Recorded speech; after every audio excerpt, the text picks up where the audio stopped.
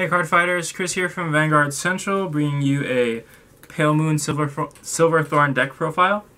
Um, obviously centered around Luquier. The starter we use is Emil.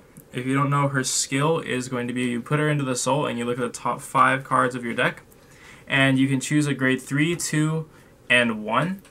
Um, with Silverthorn, Silverthorn in the card name, and put it into your soul. So it's really gonna help thin the deck from triggers which is one of the key strategies for the deck, as well as build up your soul and get that selection that you need for a lot of the calling out from the soul skills.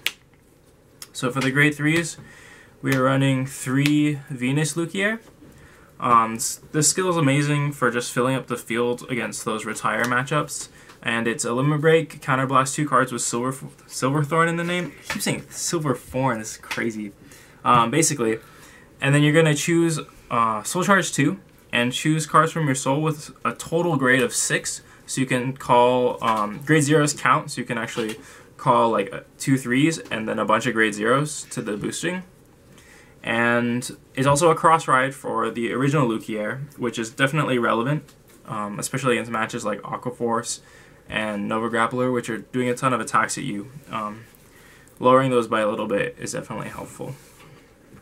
We're also running three Venus Luke, not Venus Luquier, I just said that. Uh, Luquier Reverse, which is also a cross ride for the original, original Luquier.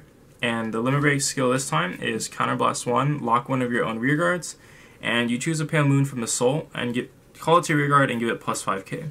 So that's going to also help a little bit building advantage and is not as counterblast heavy nor reliant on the Silverthorn name as Venus Luquier. Again, being a cross ride for normal Luquier, um, definitely helps against certain matchups, especially since most decks don't run 12k attackers anymore, so everyone's doing 16k columns, and just that 13k base that we can set up super easy is going to help ride our decks to victory. And lastly, we have two of the Venus, sorry, the normal Luquier, I keep saying Venus. Um, the skill is definitely very useful, but the main purpose is just to get her into the soul for the cross ride and her skill is going to be Counterblast 3 and choose a grade 3, grade 2, and grade 1 and maybe a grade 0. And yes, and also a grade 0 Pale Moon from your soul and call them to rear guard. So if you need to, it can be a good way just to fill up your field just like Venus Luquier. Um, but again, mainly just for building like cross ride status and making it easy to guard against pretty much everything. Grade 2s, we have two of the Rising Dragon, which is the 12k attacker for Silverthorns. Um, this is good just because you don't need a boost, so say you're using reverse, you can lock the booster and still be fine with a 12k hitter. Or you can call it out with um, reverse's skill, making it a 17k hitter, which is going to be great. And just a little bit of overall consistency with the 12k hitters, which is why we run them. Next grade 2 is Upright Lion. This skill is when another Silverthorn is placed on rearguard. So Upright Lion is going to get plus 3000. So this card is super important for making a power plays, like power pushes, especially if you have one on the field or you call one out using Venus Luquier's skill, because you're going to be calling out possibly three or four other units with it, and those are all going to count for the plus 3000. So you can easily get him up plus 15k, and that's going to really push some hard numbers against your opponent. And the last grade 2 is definitely the best grade 2 in my opinion of the deck, is Marichika. She has a Vanguard Rearguard skill, which is Counterblast 1 when your attack hits the Vanguard. And you get to choose one of your Pale Moon from your Soul and call it to Rearguard. And at the end of the turn, it's going to go back into the Soul. So this is great for just making combo attacks. If this card hits, you're going to be able to pull out certain grade, like a grade 1 such as Zelma, which I'll explain in a bit and that's going to let you reset a whole column. And that can really, really strong in early games, making multi-attack. And this card makes it possible to stay at grade 2, especially if you had her have her ridden against decks like Gear Chronicle, which really need um, your opponent to be at grade 3 to really get going.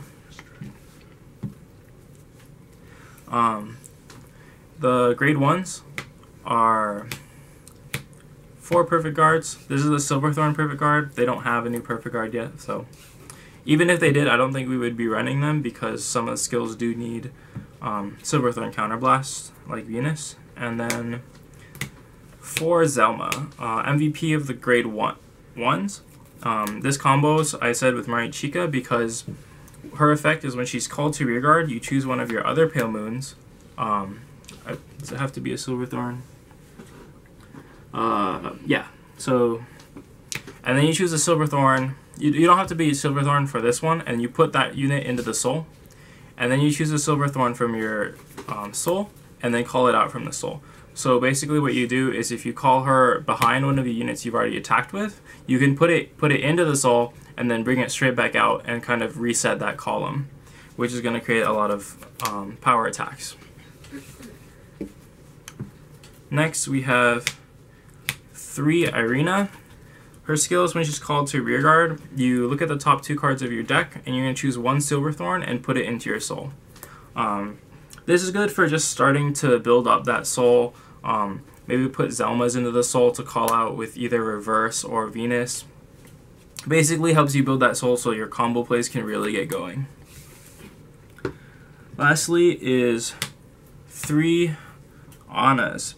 And this attack is when you boost it and it hits, then you can counterblast one and you basically do a Zelma. So you're gonna put choose a Silver Thorn or I think a Pale Moon, put it into the soul, and then choose another Silver Thorn from your soul and bring it back out. So usually want this behind the Vanguard so you can hit with a high Vanguard column and then if they let it hit, then you get a counterblast one, bring a Zelma out from the soul, and then put an attacker back into the soul and then bring it back out and get a free attack that way. Almost like Sword Me, if you will. Lastly, the triggers um, is pretty straightforward. It's going to be 8 crit, 4 draw, and 4 heal. Um, and then lastly will be the strides. Uh, hold on while I get them real quick. I'm just gonna just pause it and then okay. resume it. Where are the strides? I'll put them in here. Derp Central. Derp Guard Central. Bloopers at the end. Alright, I was playing Summoner Work. Eh? Yeah, just continue as normal. And then... Um, so for the strides, um, first we have one Miracle Element Atmos. Just good for getting that power push early if you don't have anything strided before, because it gets Counterblast 1 plus 10k when you stride. And we also have one Blizza, kind of like Atmos, meant for just doing those power pushes when you know your opponent doesn't have a perfect guard.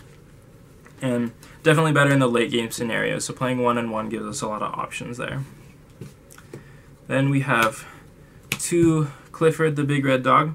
His skill is when he attack hits Vanguard, you can choose a grade 2 or less from your soul, call it to your guard, and give it plus 2. So this is actually really good because if it hits, and if you have a Zelma in your soul, you're going to be able to reset a whole column. And if you reset it with uh, 12k attacker and Zelma, because you call Zelma, um, she gets plus 2. Then you put your attacker back in the soul, call out a 12k attacker, and that's going to be a 21k column that you're just resetting just for letting this hit. And that's pretty amazing. So two of those just to apply that on-hit pressure. And then we have four Mystique Luquier, whose skill is choose two of your rear guards, put them into the soul. Um, sorry, I need to read this one. Once per turn, you can choose two of your rear guards, put them into the soul, and then you can soul charge two, and choose two of your rear guards and call them out from the soul. And you can only do this if you have a Luquier um, heart. So this is actually, um, it's not generating any actual advantage, but it's going to help with power plays because if you have a upright lion out, you're going to get plus 6,000 from just doing this. And it really lets you do early aggressive plays because you can make like use two of your grade ones to make a 14k column, which is going to be useful early game, but it kind of wears off once your opponent ride grades, rides grade 3. But then with this, you can just put them back into the soul, call them back out again, and kind of fix your field that way. So that is our Silverthorn Luquier Pale Moon deck profile. Um, I hope you guys liked it. Please give us a like, it really helps out a lot. Comment below if you have any questions on the deck, and make sure to subscribe for more content. Vanguard Central out.